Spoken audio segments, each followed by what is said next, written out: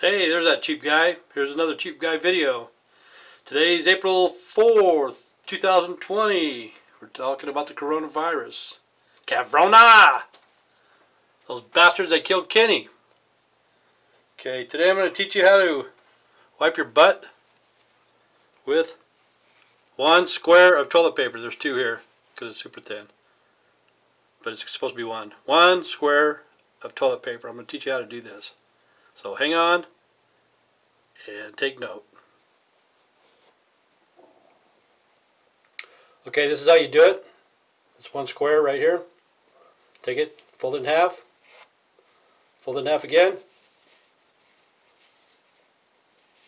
Take this piece right here, cut it, cut it off. Make sure you save that piece. That's the most important part. Make sure you save that. Open it up. Make sure you use the middle finger. You gotta have some good depth in that. Stick that right there. Put it all the way down. Go like this. Go around. Get some good depth in there. Swirl it around. Bring it back. Take your toilet paper. Wipe it off. Nice and good. Make sure you get the sides clean and all that. Okay.